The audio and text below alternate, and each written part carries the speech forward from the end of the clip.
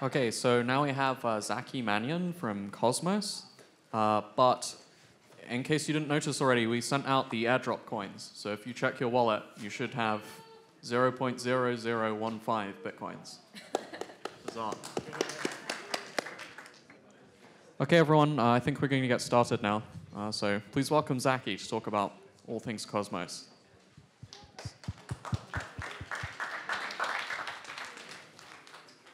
So, hi everyone. Um, this is a talk that uh, I've probably been wanting to give for three years, and it's also probably a talk that does not explain what Cosmos is. Um, if you don't know what Cosmos is, go to cosmos.network, and we finally, after three years, have a fairly legible explanation about what Cosmos is. Um, also, Cosmos is launching imminently. Um, when I was prepping this talk, it was unclear whether or not we would have launched by the time I gave it, or whether or not we would have announced launch, or whether or not you know launch would be like a week away. The scenario that we ended up with is we're kind of on the order of like a week until mainnet launch, um, but like imminent. Uh, software risk is zero, uh, like, or as at least as low as I can make it.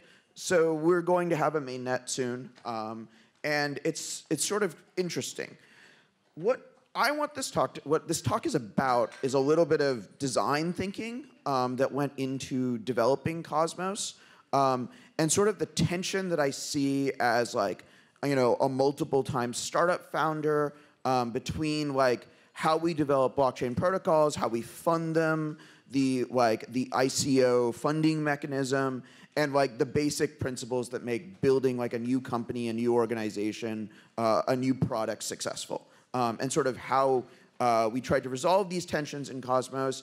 And at this point, I can sort of, I think, persuasively argue that our approach worked. Um, so I have that to go on.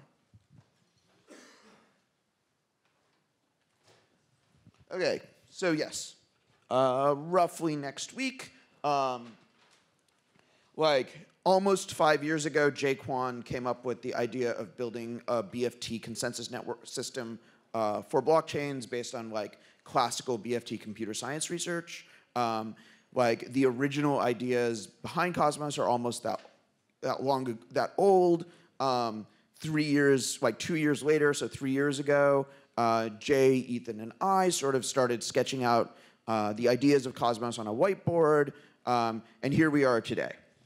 So by no stretch of the imagination is this like a fast or like a fast process. This is not a fast product de development cycle. I mean, in the world of startups, taking five years from sort of uh, uh, uh, idea to MVP is like is slightly absurd. Um, it it certainly isn't. Uh, uh, uh, it and it like you know to a, to a large extent, I have to credit Jae with like seeing something that needed to be built so far along, so far ago, so long ago, sticking with it over five years, like putting an enormous amount of effort into it.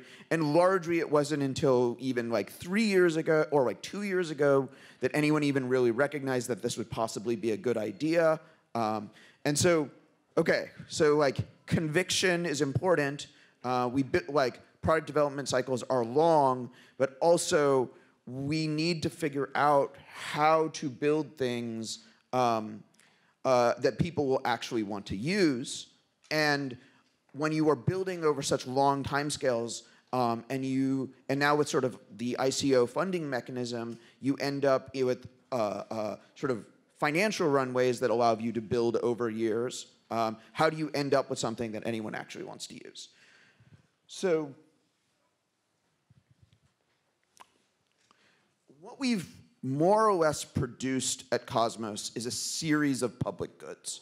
Um, and you can think of each of these public goods as kind of a product that built upon itself, um, and that we were able to get some signal of product market fit uh, when we released it um, before we built sort of the next layer.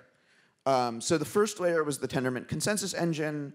Uh, the Tendermint consensus engine has been sort of available for commercial use since 2015. It's been reasonably good at it. Um, it's sort of been like formally BFT since about 2017. Um, and at this point, it's the only like classical BFT engine that's ever been run by strangers over the public internet, um, and not just like a single system administrator in a data center. Um, so then we built the Cosmos SDK, which was the first framework for building sort of blockchains. Then we built uh, uh, like the incentivization, coordination, and punishment framework that we call bonded proof of stake.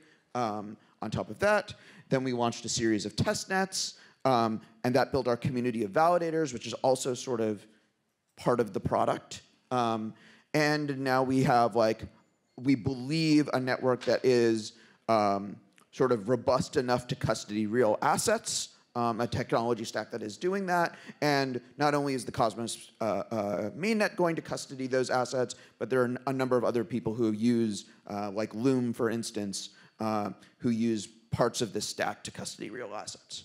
So the basic philosophy was take the vision, the vision of a boundlessly scalable connected sequence of blockchains, break it down into independent public goods, release those public goods in the market, figure out, like, observe adoption and use of those public goods, and then have that be a feedback cycle into the development process.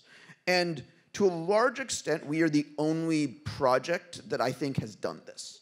Um, every other project has released largely a fully integrated stack to the extent that they've released anything, and or they've released bits and pieces that are kind of not standalone useful. Um, and I would say that this has been a mistake. And our primary proof point for this is the ecosystem that exists around Cosmos pre-mainnet launch. Um, obviously, the flagship thing, which basically was not a business development win and mostly fell out of the sky, um, was Binance Chain. Um, we also have high-profile projects that aren't on this slide, like the Thailand National ID system is building on top of Tendermint. Um, there are, there's like a large foreign exchange player who's been using Tendermint in production since 2016. Um, like we've, we've like a fairly large uh, user base um, of people who are building interesting stuff. Um, and that's mostly the value here. Like the value is we produce these public goods and they are useful to people and we know they are useful to people because we are not paying any of these people to build on top of us. Um, so this is just some more examples. Like all of these people are awesome. We've also like recruited this awesome network of people who were largely strangers to us on the internet, who who like are who like uh, have built you know businesses and invested large amounts of their own time and money into learning the skills to operate our software, um, and have built businesses around operating our software. Uh, we just finished this sort of large-scale competitive testnet called Game of Stakes. Um, that was that was the uh, um, that was what the uh, that was uh, the first competitive test net with like a BFT consensus protocol to test whether or not the incentivization layer worked. Uh, we saw Sybil attacks and uh, uh, and denial of service attacks, transaction spam attacks. Nodes crashed. Like it was awesome. Um, but again, this is the value of I think the approach that we took. I think all throughout this process there has been like a sort of uh, uh, in the like uh, uh, in the sort of popular culture of blockchains, there was kind of like always this perception that maybe Cosmos overpromised and underdelivered. Um, but like as you, I think, persuasively argue from the last couple of slides, that the reality has been that by releasing like sort of the minimum useful version of every level, layer of our stack, we added something that was incredibly useful to the blockchain ecosystem and allowed people to build like better, more useful systems on top of it. Um, so, yeah, this is working. Um, you know, we started out with this like large, expansive vision. That vision is not going to be complete for many years to come. Uh, we're at best at the midway point of trying to deliver this system, but we have de-risked the actual execution enormously. Um, and like so there's this like fundamental tension which is we are trying to build public infrastructure that will last decades and you don't build public infrastructure that will last decades by like starting from the rickety bridge and then iterating on it until you get to the like fully like th- thought out thing that lasts 100 years um, and that's true and you can't fundraise in this space by telling people you're going to build the rickety bridge um, but on the other hand, if you don't ship anything, um, you don't actually know whether or not what you're building is useful. Um, I think the other reason why blockchains, um, like, why you have to sort of incorporate some of these ideas of like ship early, ship often into like blockchain development is that while we fund blockchains like public infrastructure projects, operationally blockchains are startup companies. Um, and the biggest risk to startup companies are usually not technical, they're operational. Um, and there's always been this uh, uh, uh, uh sort of like truism about building startups, which is like you ship your org chart. And if you never ship, you never build an org chart that ships. Um, and this is like a massive, massive tension within the, the, the sort of current blockchain landscape as I see it, which is if you do not build a culture of putting something out on a regular basis, you are not going to learn how to put out, put out stuff on a regular basis. You can generate all the like phenomenal research papers in the world, but there will never be any engineering artifacts um, that people can use. So like pervasively in the blockchain space right now, I see a, like especially among the layer one protocols, I see like numerous pathologies. Like so, there's something that like has been called second system syndrome, which is the second version of every project um, tries to fix all of the problems of the previous project. So essentially, every layer one program protocol is a second system for Ethereum. Um, and they all try to fix every single problem with Ethereum. Um, and in the history of like building computers, this has always been a disaster. And I worry that it like we are continuing to build a disaster. And like the explicit design of the Cosmos release cycle was to avoid this. Um, and when you are building a second system, and then you and you try to fix all of the problems of Ethereum at the same time, you end up with a system that you are unclear whether or not like users at the moment when you reach, release your system are actually going to use your system. Um, and so market feedback is important. So somehow you have to resolve these, these tensions. This approach that we took with Cosmos like did that and I think is like largely why we are shipping a project today. So our design principles all along have been the minute the software like is safe and can be used for a thing, get it in the hands of users. Um, don't try to make it perfect. Don't try to make it uh, uh, as fancy and do all the bells and whistles as possible. Just ship the th goddamn thing. Um, the second piece is almost every component of the Cosmos ecosystem is independently useful. You can use it for building things as part of Cosmos. You can use it for building other architectures. Um, if the whole Cosmos like vision doesn't work out, largely these pieces of software will still be useful. So that's sort of my a little bit of my rant, but it's also just like three years of frustration kind of boiling over. Um, Um, like, yeah, it was, you know, Cosmos is designed to fix the problems of the Gen 1 system that is Ethereum.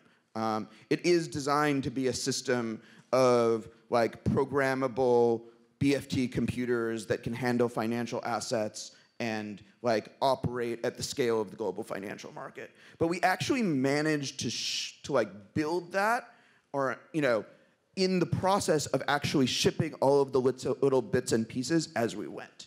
Um, and so, like, this is a model that works. If you are thinking about building one of these systems, like, do it this way is would be my recommendation. Um, and don't do the other thing, which is um, spend five years like building your cathedral and then dropping it on the world.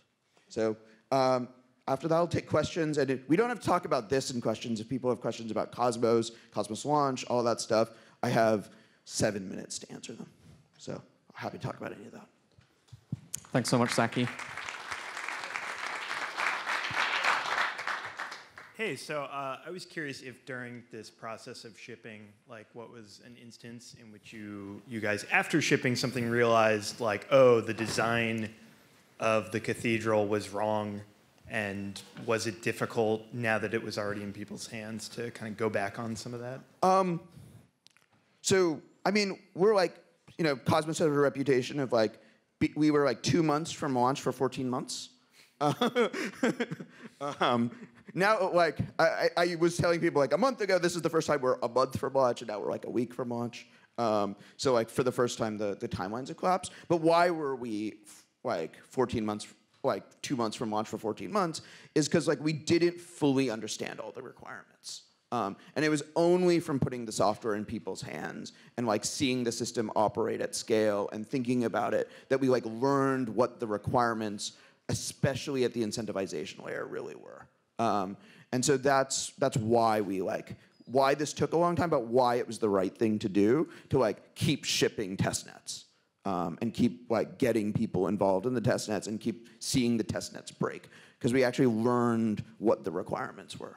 So sorry to clarify, when you say test nets, do you mean that there were multiple instances in which you basically said, all right, we're throwing out the old one, here's a new one, totally new state, yeah, many, many, many, many. We I, we're I think we're at like probably like the seventeenth full state reset um, is the is the current release candidate. Um, so yeah, but like totally, totally worth it. Cool. Thank you.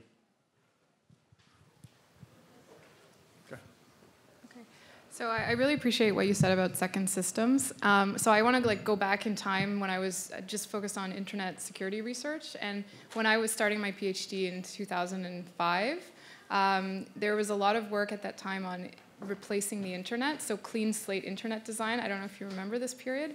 And so there was like massive amounts of National Science Foundation money on clean slate internet. I was an undergrad then. So. Okay, good. So you know exactly what I'm talking about. And I never wanted to work on that stuff because I never thought that the internet would be replaced by this new internet that we were going to to all be building. And if you can see what happened to all of that work, like very actually interestingly, very little of it has even been you know used in, in the internet at the end of the day. So so I, I really appreciate your whole pathology about second systems. So my question for you, since you've obviously thought about this a lot, you know, when do you think we are going to have the system and we're going to stop having the second system, right? So if the first system is Ethereum, now we and have like Ethereum generation. will fail okay. in its current form. So we That's could all just like be scientists and understand that. Okay, so so when are we going to like you know right now we have lots of extremely well-funded layer one projects, really interesting technology behind all of them. When are we going to see the winner? Is there going to be a winner? Like when do we stop? Um, like